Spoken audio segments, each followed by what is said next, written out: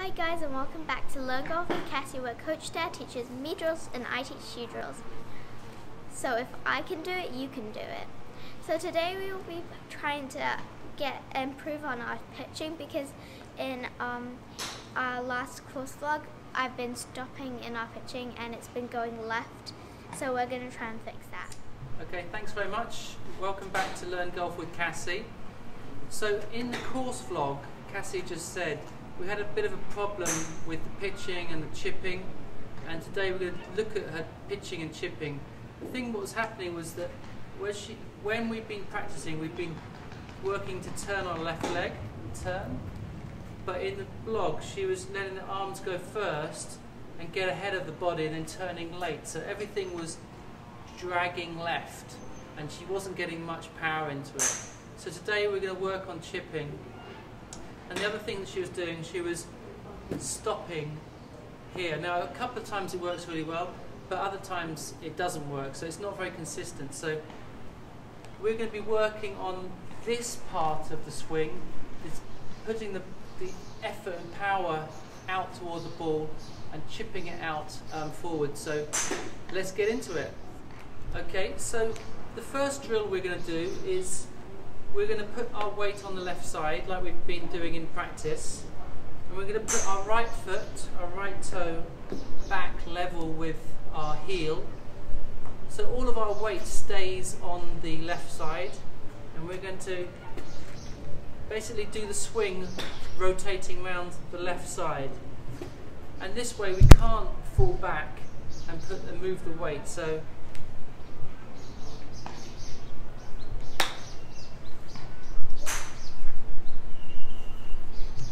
Okay, so Cassie did a few of those ones. And we're going to try and get it uh, as close to the hoop as possible. And it's not very far away, so it's almost like you're chipping onto the green from the side of the green.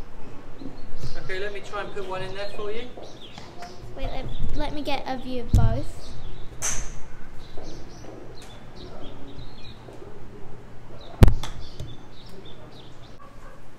So we've put the towel behind the ball like we did in the previous video just to make sure Cassie focuses on good contact as well.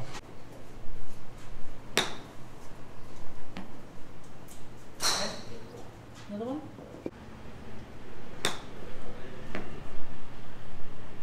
That was a nice one. Very nice one. Really nick that ball first. Good.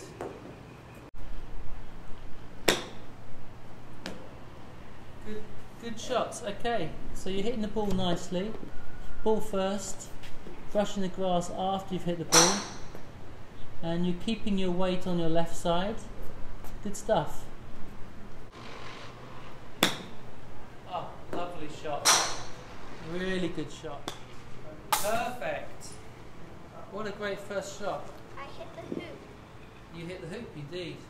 Make sure your body's turning together with the arms.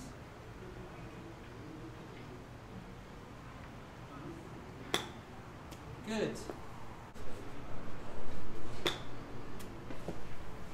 Okay, just caught it a little bit behind the ball. Good.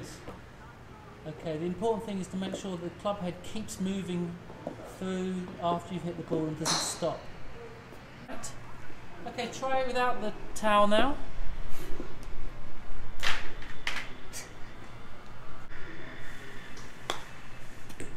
Right in the middle, good. Now what happened on that one? Yeah, but why didn't you hit it far? Uh, I stopped. You stopped, you slowed down the ball, you've got to be going all the way through. Okay, so you can see Cassie's been doing some great stuff there, really getting the ball contact well, making sure she's continuing the swing through and kind of accelerating through the ball and getting the ball to pop up and land exactly where she wants it to. Now, a couple of times it comes out thin, and that's usually because the left wrist is breaking down, um, which is rehinging. So this left wrist, as you come through, it stays pretty solid, as you turn through, and that just makes the as you contact.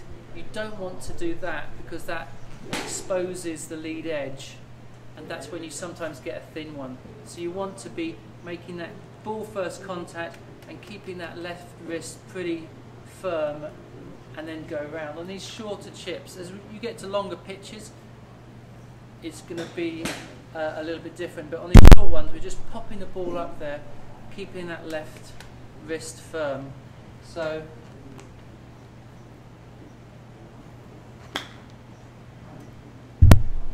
Just throws the ball up nicely. Okay, back to Cassie. Nice shot. Good shot. Good. They're all landing within a few feet of each other and rolling out within a few feet of each other.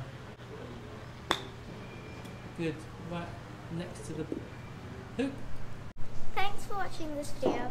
Click the thumbs up button if you liked it and comment down below if you've had this problem and if you've learned something from the session and subscribe if you haven't already. Turn on the notifications so you can tune in whenever we have a new video. Thanks for watching guys. Bye.